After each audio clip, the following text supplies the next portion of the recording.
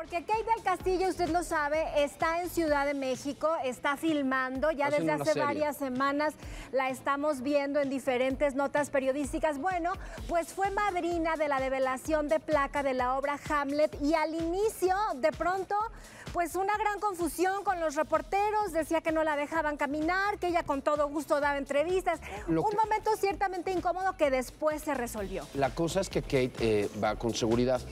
Sí. Ella sí lo ha decidido. Y entonces sí fue como un toma y daca de pronto a la prensa con la seguridad, cosa a la que no estamos acostumbrados, porque sí es una realidad lo que pasa en nuestro México, pero normalmente en, una, en un teatro pues no pasa nada. Pues habló de varias cosas después del alboroto que vamos a ver a continuación, el problema legal que enfrenta aquí en México y su nueva pareja es Kate Kate del Castillo.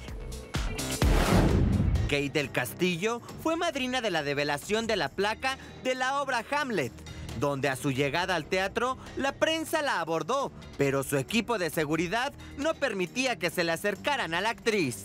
Visiblemente molesta, argumentaba que los reporteros la estaban empujando. Perdóname, híjole, ¿es en serio lo que me estás diciendo? Es que no eso, Ellos eso se, se dedican a cuidarme, me están poniendo el micrófono aquí, no me salgas con eso, ve. Yo encantada, encantada les respondo, nada más no me pongan el micrófono aquí. No nos dejan caminar. O sea, de verdad, no le echen la culpa a mi seguridad, por favor. Está increíble, ya estamos a punto de terminar, estoy muy, muy contenta. Sí, lo están pegando a mi gente, ¿no? Están pegándole a mi gente. Y estoy muy contenta de estar acá, muy feliz y feliz de venir aquí a develar la placa de Hamlet con mis amigos. Eh, estamos por terminar ya, es un eh, Ana Karenina, pero moderno. Estoy muy contenta. Mi hermana me acompañó y es un pequeño cambio ahí. Y pues muy feliz de estar en México trabajando. La hija de don Eric del Castillo, muy a su manera, respondió cómo va su nueva relación con Edgar Baena, director de fotografía, y dio su sentir al compartir una escena con una integrante de su familia. Estamos muy contentos, muy, muy felices de estar aquí. Nada más te- muy enamorado. Por favor, hágase un poquito para. Muy enamorado. Por favor, le están pegando. Por favor, le están pegando. Por favor, le están pegando. ¿Qué estoy haciendo? Kate, ¿cómo va la denuncia contra el gobierno mexicano? Bien, muy bien, va muy bien. Al término de la función, ya más tranquila, Kate decidió atender a la prensa, donde habló sobre la violencia que se vive en el mundo y cheque su reacción cuando se le cuestionó sobre el caso legal que lleva con el Estado mexicano. No, pues en mi país y donde sea, ¿no? Eh, ah, Creo que estamos ahorita en un nivel de violencia muy importante en todas partes, no nada más aquí en México. Así es que, eh, nada, yo vengo a trabajar, que es lo que estoy haciendo, muy feliz, además de estar trabajando en mi país. Eh, una historia muy importante, que es Ana Karenina, y estoy, estoy muy contenta. Y, yo lo único que les pido es cero violencia, ¿no? Cero violencia, porque estuvo un poquito fuerte lo de hace rato. Ahí va, todo ahí va. La verdad vengo a desvelar esta placa. Gracias a todos. Buenas noches. Informó para Venga la Alegría, Yael Vanegas. Todo momento se manifestó muy dispuesta. Fue un momento incómodo al inicio, Sí, hay, es la hay, hay como realidad. un toma y daca, así de qué Sí.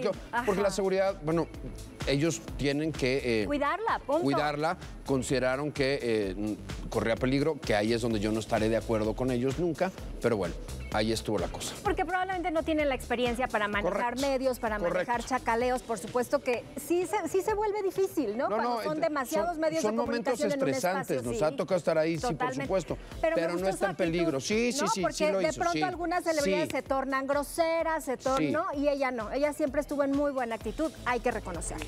Tenemos estas imágenes, señora Locochona, que le gusta, dije señora Locochona, para recordar a nuestro querido Horacio Villalobos. Que le gusta a Alejandro Fernández, que cumplió 51 años. Y compartió en redes sociales estas imágenes donde está festejando, mire cómo baila en la playa y cómo aplaude el potrillo. Yo me Bonitas sentía- imágenes, ¿no? Me sentía en su cumpleaños. Ya sabemos que a Alejandro le gusta la Riviera Compartir, Nayarita, sí, tiene una, una casa, casa ahí preciosa de- ahí, entonces invitó a sus amigos, a sus hijos, estaba Carla Laveaga. Pero lo más interesante más, es que hicieron más. una especie de ritual. Había un ritual de fuego y un ritual de flores justamente para celebrar estos Una fiesta locochona, así es medio hippie. Mira, mira, mira la playa y mira el ritual y mira la luz y mira los pétalos de flor. O sea, de alguna manera es agradecerle a la vida en Y- un ambiente natural. Y después el vaso dado, rojo ¿no? también, ¿no? Porque también, también mucho pétalo y mucho ritual, todo, pero después también. Yo desde Sí, mi casa, no. eh, eh, ¿Cómo no? eh, eh, Sí, eh, invítanos, Alejandro. La verdad es que somos buena, este, somos buena compañía. Te llevamos tus pétalos y toda la cosa. No, la verdad es que impresionante la fiesta, muy bonito. La y neta, muy bonito. reconocer que es un cincuentón que parece treintón, es un hombre que el trabajo, la familia, los nietos le han revitalizado y, se nota Y en me da gusto verlo contento ¿no? porque Totalmente. no debe ser fácil tu primer cumpleaños sin, sin tu padre y, y se le ve contento.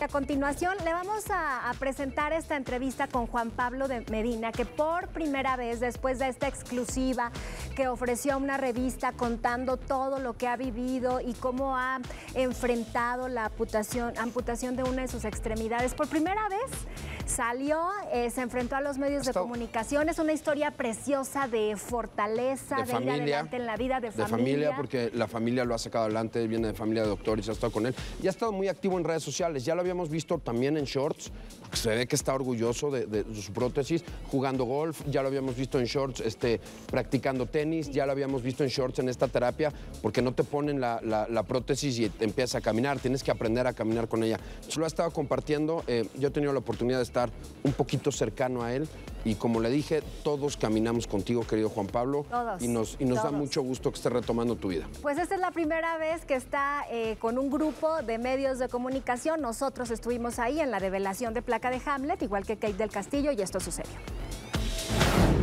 Juan Pablo Medina reaparece ante los medios de comunicación, luego que el actor perdiera una pierna a causa de una trombosis. En el evento al que acudió, Medina compartió con la prensa cómo se siente después de haber estado al borde de la muerte. Muy contento de poder salir, venir al teatro, feliz de ver la obra. Estoy muy agradecido, sentí todo este tiempo, he sentido mucho amor. Eh, soy muy afortunado de tener la familia que tengo. El actor responde si alguna vez llegó a pensar en el suicidio y quiénes han sido sus motores para superar esta difícil prueba. No, para nada, no, no, no. No, no, no. Es importantísimo la, la- la ayuda de, de- de Paulina, de mi familia, eh, mis papás, mi hermano, mis primos, este, toda mi familia es increíble. Mi papá es médico, entonces desde el primer momento estuve rodeado de especialistas y pues eso es una, es una gran ayuda. Después de haberse visto muy grave de salud, Juan Pablo deja en claro si volverá a la actuación. Y vaya mensaje que le envía a todas esas personas que al igual que él han pasado momentos complicados. Pues poco a poco estoy en, en terapia, estoy en recuperación y más adelante, cuando me sienta mejor y ya entero para trabajar, lo haré, pero todavía no sé. Y pues el simple hecho de estar aquí hay que agradecer. Y ese debe ser el motor para seguir adelante. Informó para Venga la Alegría, Yael Vanegas. Y ahí está Paulina Dávila al lado, Sí. que él lo dijo, fue su motor y fue quien lo movió a entender que al final de todo estaba vivo, ¿no? Y que había que seguir adelante. Como lo ha dicho, piensa más en lo que ganó que en lo que perdió. Me parece un ejemplazo de vida lo que está haciendo Juan Pablo, de verdad lo digo. Y yo estoy segura que en cuanto termine la terapia, él va a regresar porque es un extraordinario actor y se le necesita en el espectáculo nacional. Es correcto.